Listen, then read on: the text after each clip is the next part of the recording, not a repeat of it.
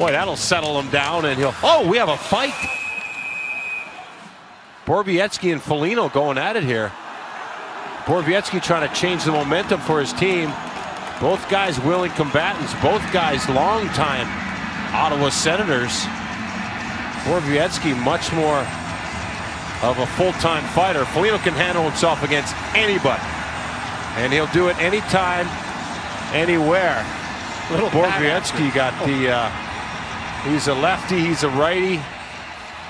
And there, I think Nick Foligno did him a favor by dropping the gloves. He didn't have to do that.